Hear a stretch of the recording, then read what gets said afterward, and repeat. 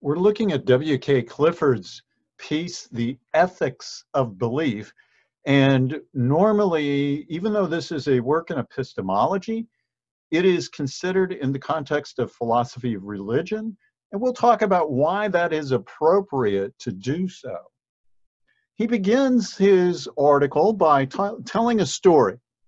So we have a story of a ship owner who has an older ship. It's taken many trips. He knows that, you know, maybe it's time to give it a, a refurbishing and and redo th- some things before it would go off into the sea again.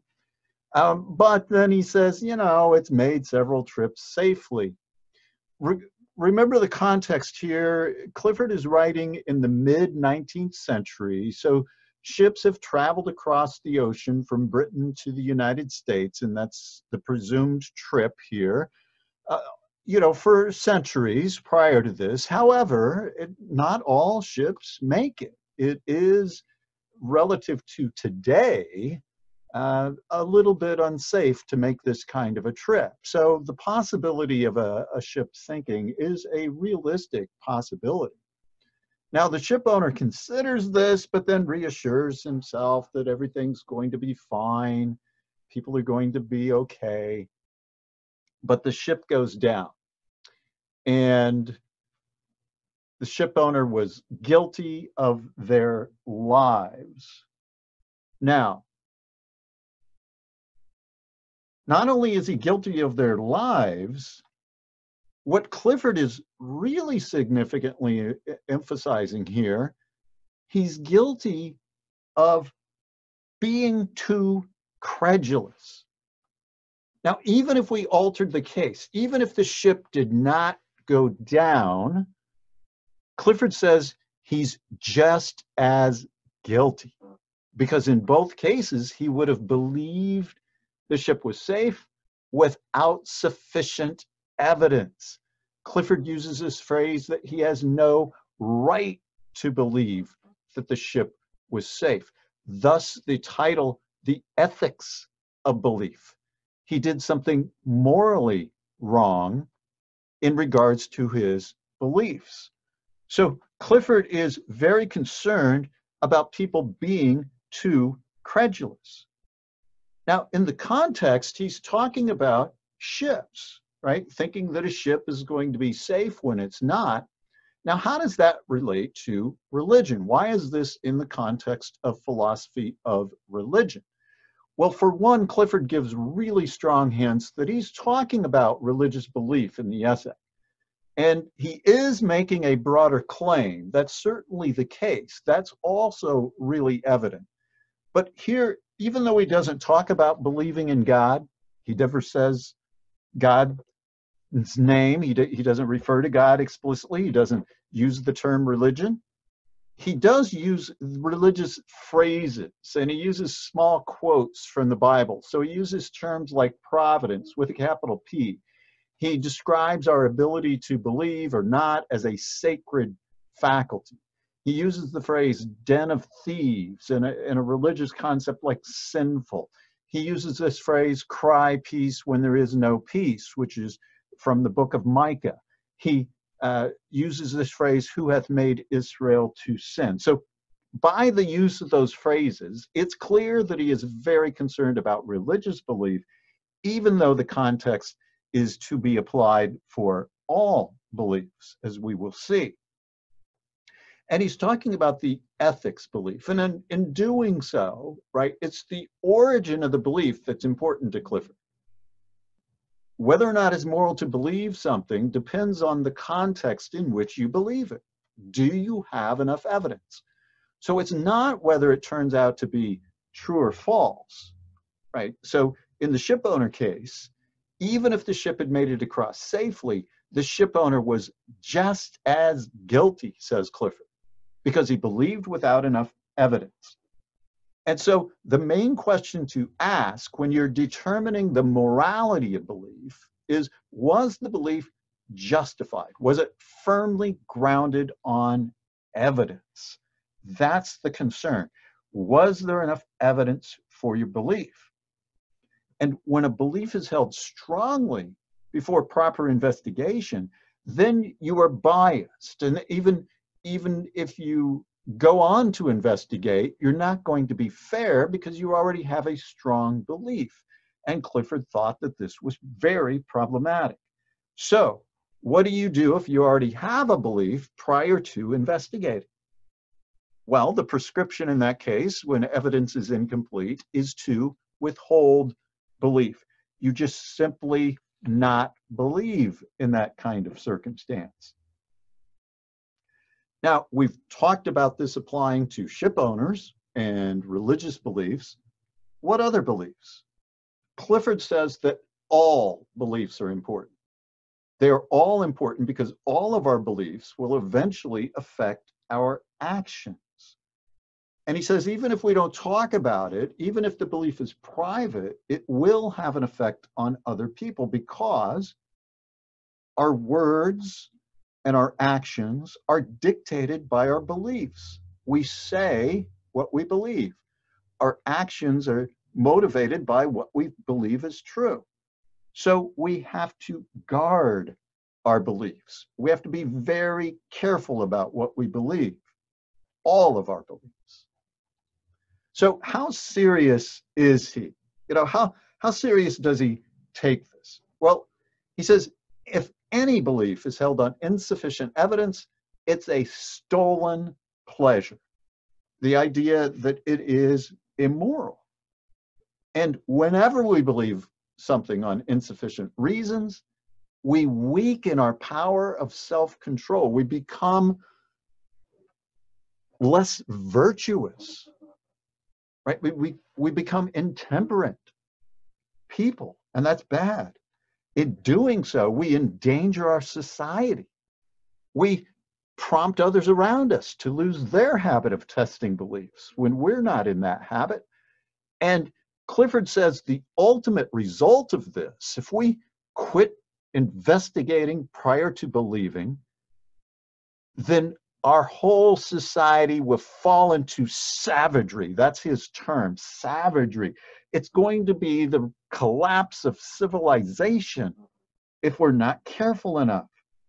And so Clifford says it that way. If I'm not careful about what I believe, I show to others that I do not value truth.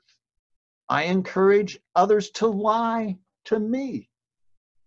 And eh, this is a quotation from the article here the credulous person is a father to the liar and the cheat, right? When you believe without sufficient evidence, you encourage people to lie, you encourage people to cheat. And once people start lying and cheating, society will collapse. So this is extremely serious and important. Now, how should we put his thesis? What is the thesis? Well, it seems pretty clear we could say it this way it's wrong to believe upon insufficient evidence. That's his thesis. But we might, you know, have some questions or qualifications. Well, is it sometimes okay? You know, uh, maybe if it's at night when you're pondering your life and you just think some things and kind of imagine and believe some things that might not be the case is is when you can't check it out is that okay no he says it's wrong always to believe upon insufficient evidence now you might think well you know not in every situation right he doesn't think that i mean there are some circumstances you might be in. Maybe you're at a ball game and you're just not carefully thinking about what you're believing at that circumstance, right? And he says, no, it's wrong always, everywhere, to believe upon insufficient evidence. Now, you might question this again. What about for, for some people? What about if I form some political beliefs without really investigating and I'm not going to vote? right? So it's not, that's not a problem for me because I'm not even going to vote, right? Clifford says, no, it's wrong always, everywhere, and for anyone to believe upon insufficient evidence. Now, finally, you might think, aren't there some things that just aren't as, port- as important as other things? you know, believing what time a, a show starts and you're not even concerned whether you see the show at the beginning or not? I mean, aren't there some things when it's okay not to investigate thoroughly?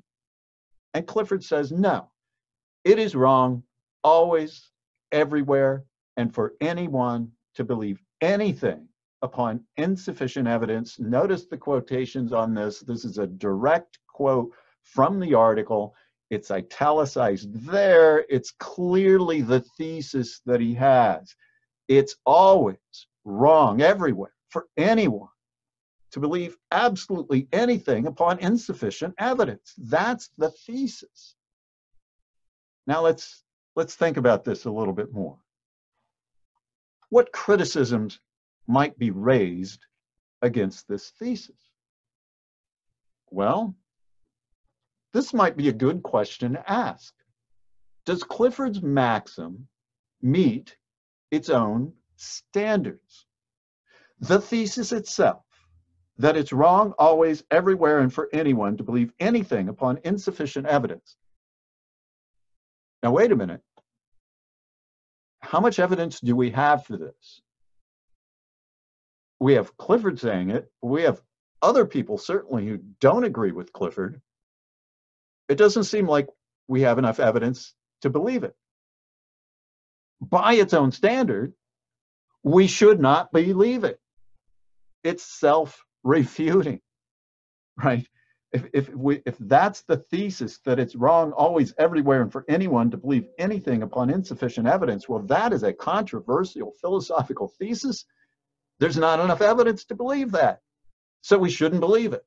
Now that's a problem. That is a big problem. Now, another thing to consider here is what's the argument for the thesis? What are the reasons given for us to believe it? Well, the argument is largely based on what benefits or harm will result by following or not following the principle. Right? Clifford emphasizes the problems that might occur if you're not careful in what you believe. Now, okay, so that should motivate one to be more careful. However, we should note here that this is a consequential fallacy right? It's not so much as an argument, it just says, believe this or bad things are going to happen. Now, that's something that I would call a common method of persuasion. It might be effective at persuading people, but it's not a good philosophical argument, right? Uh, that's that's a bad argument, a bad reason to believe something just because something bad is going to happen if you don't, right? The, the standard should be whether it's true or not, whether you have reason to think it's true or not. And he doesn't really give us an argument to think that it's true. And just one last criticism. This is in the order of importance here, right? The first one's the most important. The second one is, is significant and substantial. The third one, we might just ask Clifford, what about those situations in which a quick decision is required? we are often in situations where we have to make a quick decision. We cannot stand there or sit there and contemplate the decision forever. Consider whom to vote for. You know, there's a day in which you cannot vote after that day. You, you have to do it. But more importantly, if you have a job, if you're a police officer, if you're the CEO of a corporation, if you're an attorney in a trial, you have to make decisions quickly sometimes. And it's often not a situation that you can pause to investigate. And so people often have to make quick decisions and just go with the best evidence they have at the time without stopping and putting their belief on hold. We have to act sometimes. And so this also does seem like it's problematic. Now, having raised those criticisms, we should acknowledge that Clifford raises a significant point. And a, a problem, generally speaking, with people is not that they spend too much time investigating, right? So Clifford is right in this sense to encourage us to be more careful about what we believe, to not believe so easily, to investigate to take time when we can And especially with those really important beliefs in life, we should do so.